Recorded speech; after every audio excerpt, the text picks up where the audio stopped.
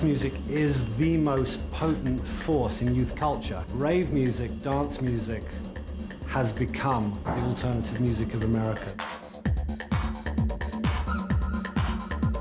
Rave to me is more than just a word. It's a subculture, it's a lifestyle. Rave is a way of life. Go out all night, and then you sleep all day, then go out all night and sleep all day. Whenever I, I try to explain raves to older people, like to like my parents or something like that, they're like, I always just say that it's kind of like a club, but it's Mhm. underground. Like that's all you can explain us. 'cause, like, Underground? What do you mean underground? Is it like underground in a building? So what? Basically, a rave, it's an illegal place or in a warehouse place outside of the corporate clubs. A bunch of friends and promoters get together with DJs and musicians in a warehouse or in a place and party all night. It's how us Americans party. Crystal meth, Special K, and the best of them all. Only in this country. Ecstasy. When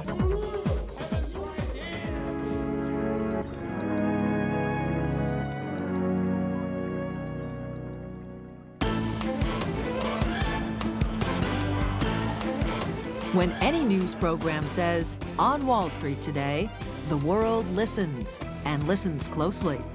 Trillions of dollars change hands on Wall Street each year with a shout, a point, a scribble, and a touch of a keyboard. In the 1920s, financial journalist Edwin Lefèvre offered timeless advice to investors. Nowhere does history indulge in repetition so often or so uniformly as in Wall Street. The game does not change, and neither does human nature. For more than 200 years, men, and more recently women, have come to Wall Street to buy, sell, and haggle. They've not always done so politely, or sometimes even honestly. But in pursuing their own self-interest, they made Wall Street the greatest creator of wealth ever seen. I'm Sue Herrera, and this is The Great Game. CNBC presents The Great Game, the story of Wall Street.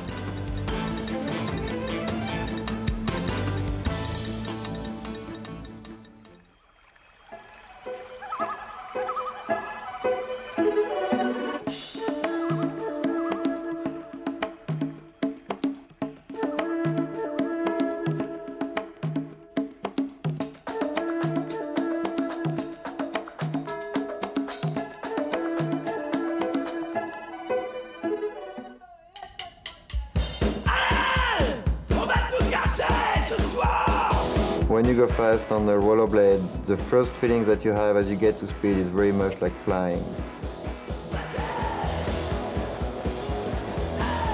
And as you get to 60, 65 miles an hour, the air becomes quite thick and quite warm. And uh, the faster you go, the better it feels.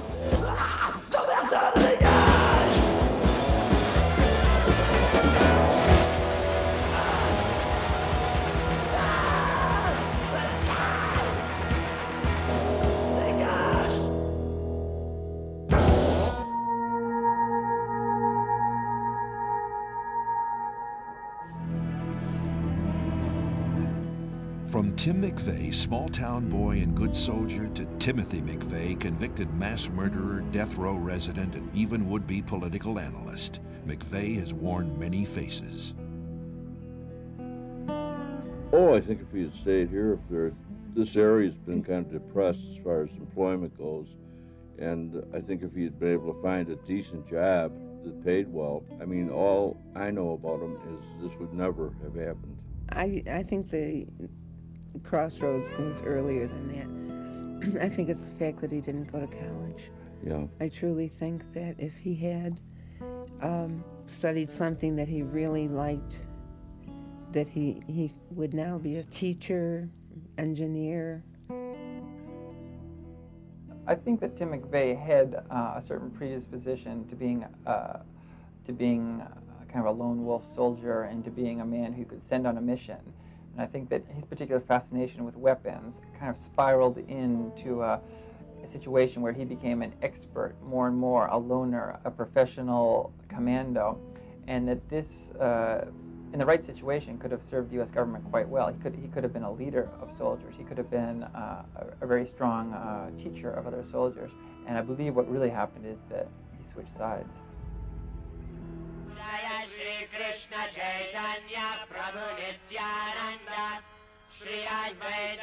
I feel that the groups that want to be separated should come together as separatist groups and fight together to be separate. I do believe that we should be separated. And I don't think that I need to get together with somebody who killed my brother in order to get that point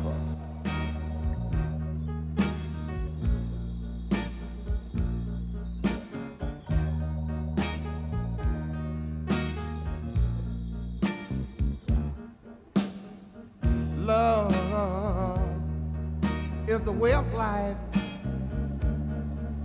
But you got to treat, you got to treat it. You just got to treat it right. Tell me what you're, you know, what, what's going on today. What are you doing? Well, we're here with the Pan-African International Movement, and what we want to do today is show people that there is a working relationship developing across the country and around the world between separatist groups.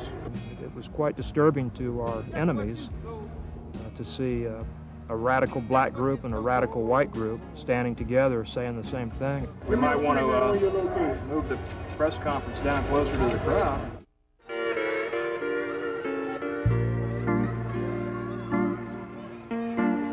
It's an amazing spine because it plays a very major role in the financial district, in the village district, in the theater district, which we all know about and think of as Broadway and then even going up past Lincoln Center and way up into Harlem. So Broadway is one of the few streets that really covers almost every section and socioeconomic group in New York. Partially Spanish, Jewish, Irish, Polish, what I like to call a melting pot within a melting pot.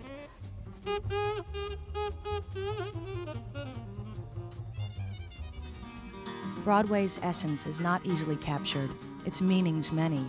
One thing is certain through all the long years, the street has somehow gained a soul, a life of its own, and it will speak to those who know how to listen.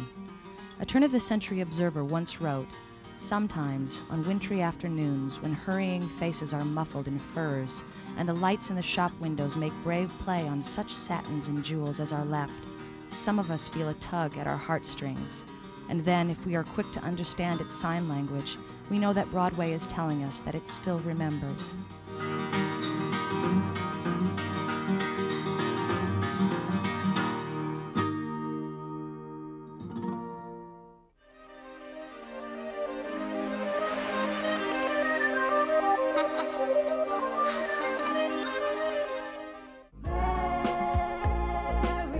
Have a dream, you know, everybody has a dream in their life. And when you conquer that, like going from a man and finally becoming a woman, you know, once that's done, what else is there to do? I mean, I just hope, you know, that she'll be happy. That's the, that's the, you know, and she's proven it to me so far.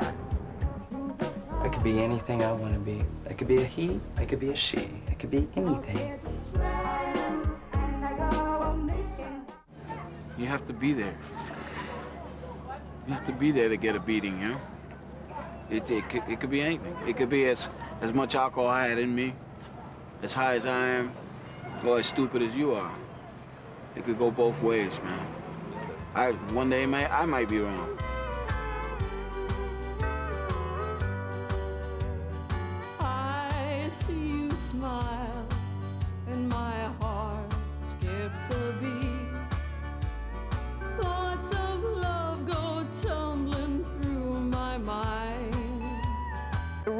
Why there does need to be a different rodeo is because if any of these people walked around hand in hand with someone of the same sex, they'd be trashed. I mean, that's reality. The places that people live, these homeless people live, uh, are as, as diverse as the people themselves.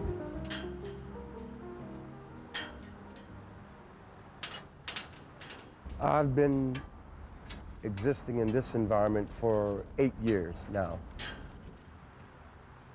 The decision uh, to live here really is one of, of total surprise. This is a complete and total surprise for me myself because I, my last living existence here in New York City was a penthouse apartment.